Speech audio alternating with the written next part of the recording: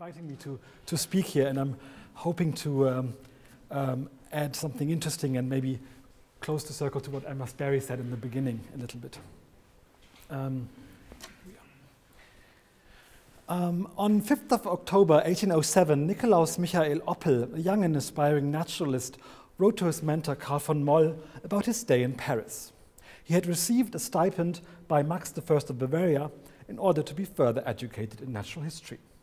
In his letters to Moll, he mention, mentions the natural history cabinets he saw and the people he met. Among them, the great entomologist from Kiel, Fabricius, and Blumenbach from Göttingen, as well as Olivier's cabinet. I choose to start off with this quote because Fabricius and Blumenbach are mentioned in it. But that's not the main reason. It, it, it also mentions people, objects, and places at the same time.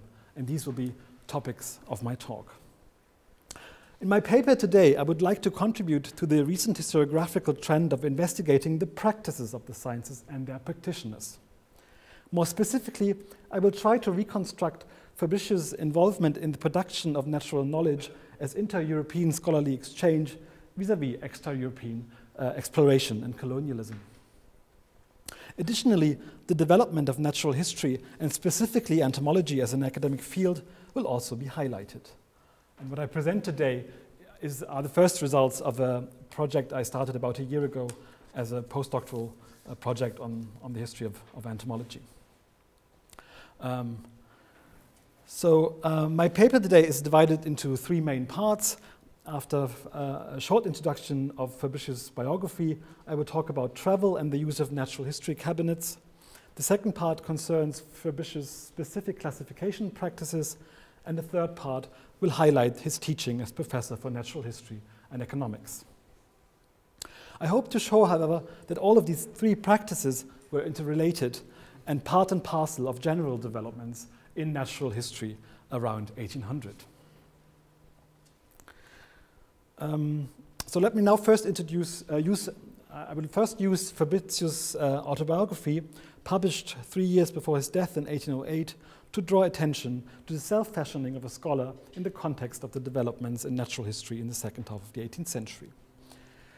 Um, Johann Christian Fabricius was born on the 7th of January 1745 in Tønder in Denmark. His father was the district physician there and encouraged his sons his two sons to study nature in the fields and forests of the Duchy of Schleswig and later in Copenhagen. This amateur natural history immersion at a very early age was typical for middle class boys and indeed some girls in the age of the Enlightenment.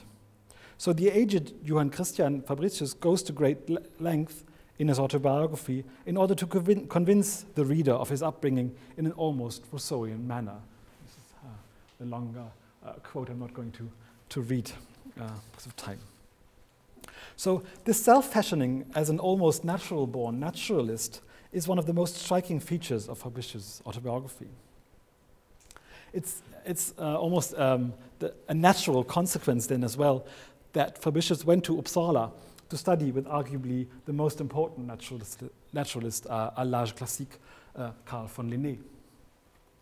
He went to Uppsala in 17, uh, from 1762 to 64 and uh, he describes it as a, as a very important period in his life, and also the subsequent travels in Europe uh, helped him to, as he says, to establish his system and also his career. He traveled the German speaking lands, Italy, France, Britain, and Scandinavia. He saw a great number of um, insect collections and met other naturalists. Um, at the same time, he also started his own collection of insects. Uh, taken together, these activities, according to Fabricius, led directly to the publication of his first major entomological work, Systema Entomologiae, published in 1775. And this was only the starting point of a large record of publications. At the end of his life, he had produced 12 handbooks on entomology in 18 volumes, as well as quite a number of specific articles in Danish, German, and French journals. Additionally, he published widely on economics, general natural history, scholarly travel, and political economy. It's again some part of his um, career steps. His career was, never, was made never far from his birthplace in Tønder, first as a professor in Copenhagen and eventually at Kiel University. Um, but his life, however, was much more mobile than this would uh, suggest at first. He traveled widely in Europe and lived for longer periods in Uppsala, London, as well as in Paris. Hence, travel was once one of the most important of his natural history practices. And I highlighted some of the areas where he went to and, and lived. Indeed, the taxonomist and historian of entomology, Dick Vane-Wright, called Fabricius an inveterate traveler. He did indeed travel extensively. After his stay with Linnaeus and a short semester at the University of Copenhagen in the 1760s, Fabricius went on a tour of Europe. In spring 1767, Fabricius reached Edinburgh, where his brother studied medicine. He only did stay there as long as he mastered the English language sufficiently enough to see the Highlands together with a chap called Daniel de la Roche from Geneva. The three students visited places and people, and of course also collected flora and fauna. As the catalogue of John Hopes, one of the Edinburgh medicine professors and eminent botanist, shows, they even climbed Ben Nevis. And brought back a specimen of Veronica alpina, alpine speedwell, which the eminent botanist John Hope incorporated into his collection. Um, the specimen itself is, is uh, unfortunately now lost. We only have the catalogue of John Hope's herbarium. And uh, I was uh, always thinking it was one of the first climbs of Ben Nevis, but I was actually corrected. Someone in the early 18th century already climbed Ben Nevis. Um, anyway, uh, so when they these three uh, young naturalists returned to Edinburgh, um, they traveled through the western provinces of England to London, arriving there in November 1767 three, uh, just three months after they left Edinburgh. According to his autobiography, Fabricius immediately secured the friendship of Daniel Solander, a fellow Linnaean and curator of the British Museum. Via Solander, Fabricius sub subsequently met arguably the most important man in British natural history in the second half of the 18th century, Joseph Banks. This also came at a very pivotal moment in British and indeed global natural history, and we heard so much about it already. It was only half a year before Banks and Solander would accompany James Cook on his first circumnavigation. So Fabricius stayed in London for most of 1768 and also helped with equipping the HMS Endeavour in the, in the spring of 1768. Um, so after that, he traveled further in Europe. Um, and started um, his position at the Naturaltheater at Charlottenborg Castle in 1717. Um, in the following three years, Fabricius taught at Copenhagen during the winter term and traveled to London each summer until 1775, thereby establishing a practice of dividing his time between home and abroad, which would eventually become his habit. At this time, when he returned to London, Banks and Solander also returned from Cook's first circumnavigation and had brought back large amounts of natural objects and insects. Thus, Fabricius, as he says, spent his summer in London in true bliss. London's importance for Fabricius' development as a naturalist, as well as its role in general natural history, can be seen on almost every page of his publication, Letters from London, Briefe aus London uh, published in 1784. Right at the beginning of his letters from London, Fabricius explains why London and Britain were so important for natural history in the third quarter of the 18th century. And as you can see in this quote, I'm not going to read it, uh, but there are all the prerequisites for successful natural history. Uh, uh, the availability and rich diversity of the material, patronage, private funding, the accessibility, and the community of scholars uh, among themselves and also among pa patrons. He also talks a little bit about the practices of natural history in the cabinets and collections of Europe. And um, I will explain a little bit about this by using also this um, report on his London uh, stays.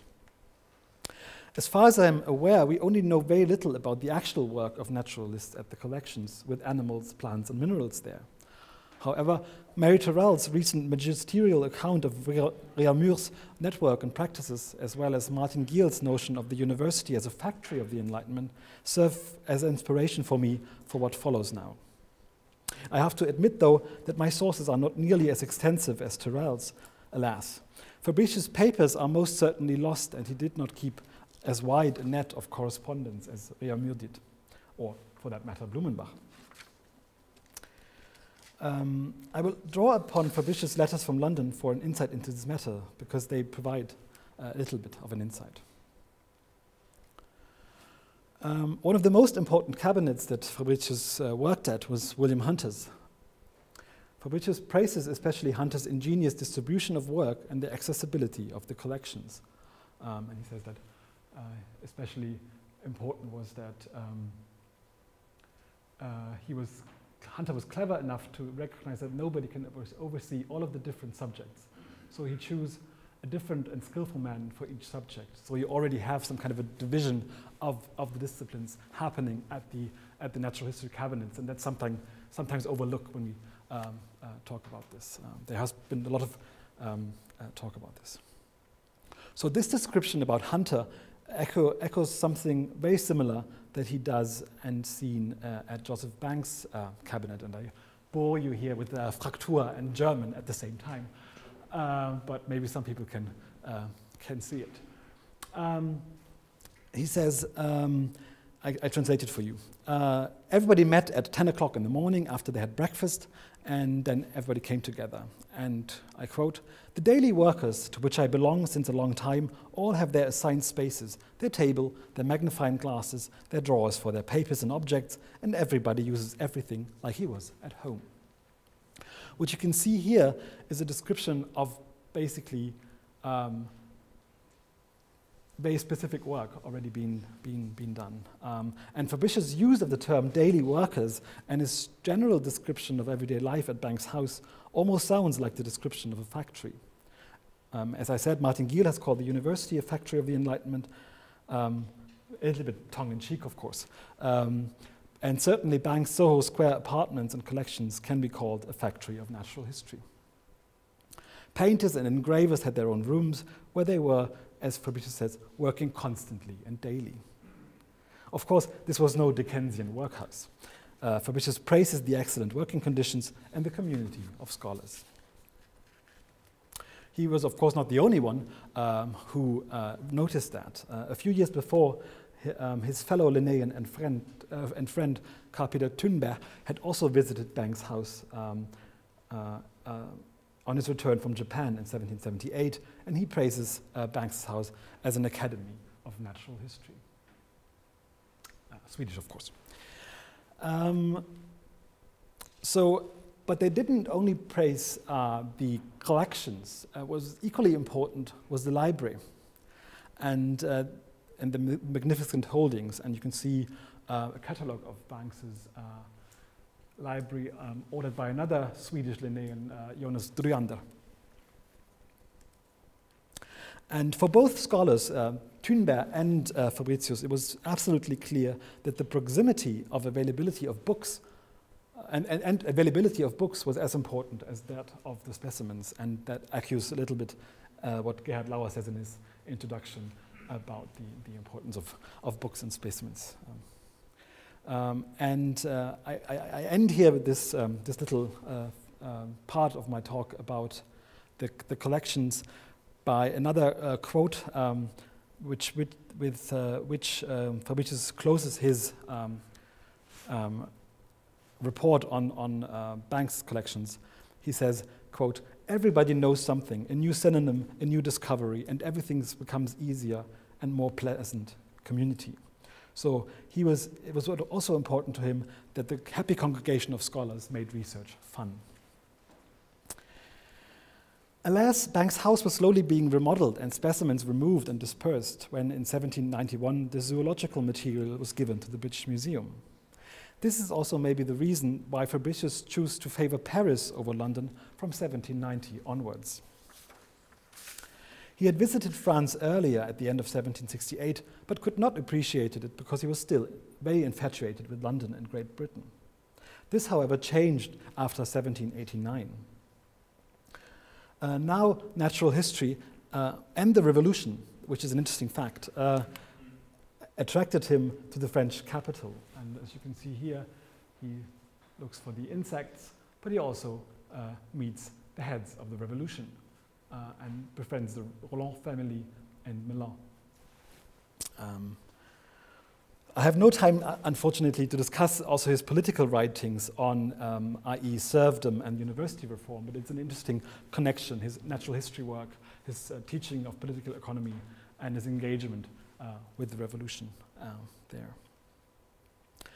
Um, Paris was, like London, also a meeting place, and it's un very unfortunate that he didn't publish an account of his uh, time in Paris, and there might be some reasons uh, we can maybe discuss later uh, the political situation being one of them. Um, as I said, he tells us very little about his actual work in Paris, uh, but the Parisian um, cabinets and the collaboration with fellow naturalists proved as vital for him as the ones in Uppsala and in London for the further uh, development of his system and his publication. So let's now turn quickly to his systematics. Fabricius had been outlining his systematics already in his first major publication of the late 1770s, the Systema Entomologiae from 1775 and the Philosophia Entomologica in 1778. His system was based on the mouthparts of the insects.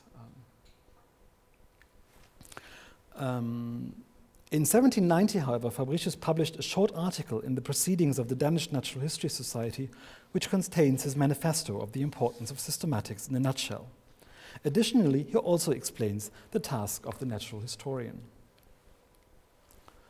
Uh, so, whatever you want to read, it's German or Danish, you can do either. Um, but I translate it into English, of course.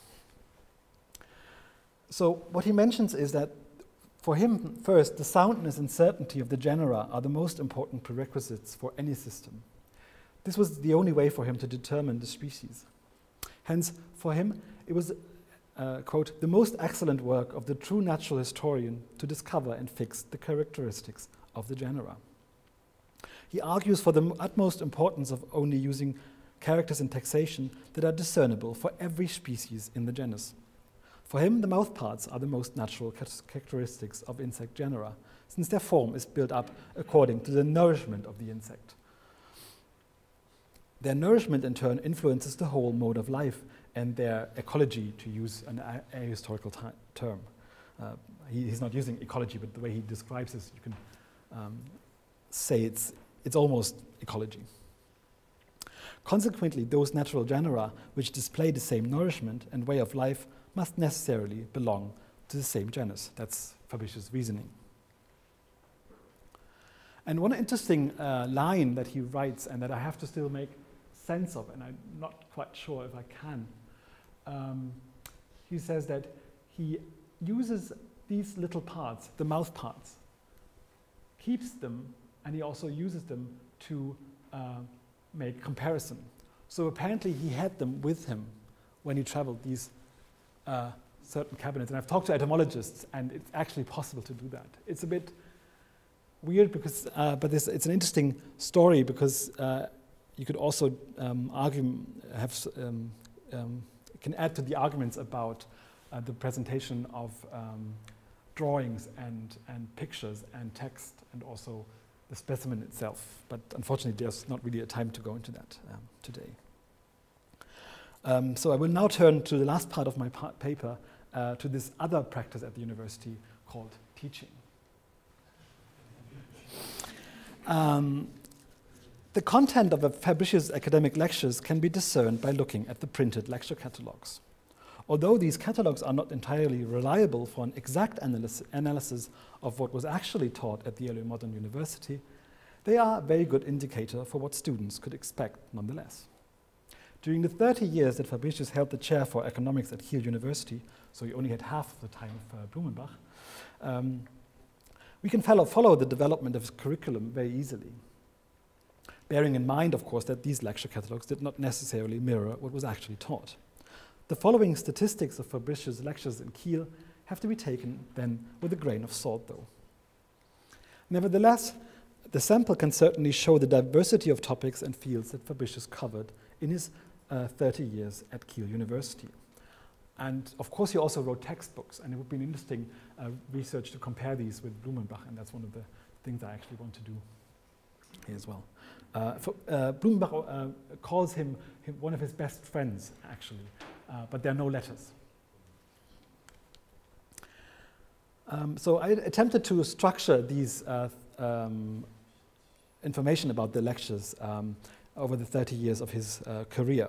And um, there are some flaws because uh, we don't have information of every year and the information gets uh, smaller at the end of his life. Uh, he seems to be more lazy in, in counting, or maybe everybody knew what he was teaching about. Um, so, but I still have clustered them a little bit.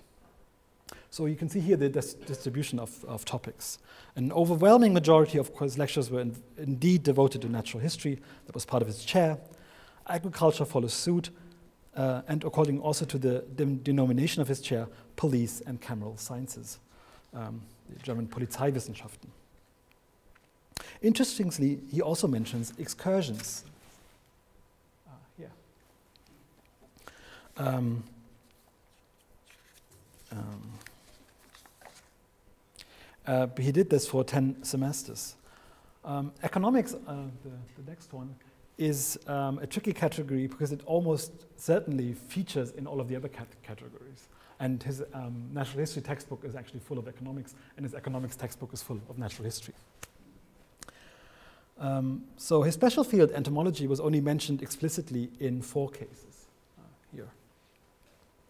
Uh, but that might be um, um, also um, the fact that it, it, um, it, might have been included in his natural history general courses. Uh, and also he had a, uh, a, duty to teach more general classes anyway. So I finish now this uh, little um, analysis by some specification within the groups of agriculture and natural history. For the former, it is interesting to note that Fabricius seemed to have given animal husbandry more attention than crop farming. One is tempted to see this as a reflection of the agricultural structures um, of, the, of, his, of, his, surroundings, because livestock breeding uh, played a far more um, uh, important role than um, in the agricultural uh, section uh, with meat production and specialized dairy farming in the duchies of Schleswig and Holstein and in Denmark in general. Indeed, Fabricius paid great attention to the local circumstances and detail.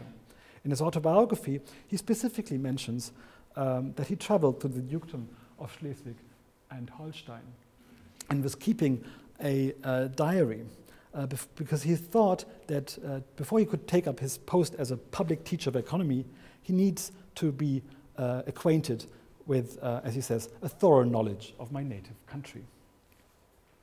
This ac accurate journal is apparently lost. Only one page remains uh, and it's kept at the Oxford University Natural History Museum. And that's one of those pages, and it's actually a very interesting document uh, because you can see here it's, it's the 49th day that he spent there. It's July, so he didn't uh, take the, the, the, day, but he the the um, so he, like the, the, the, it was not the first of July, but it was the 49th day of his travel.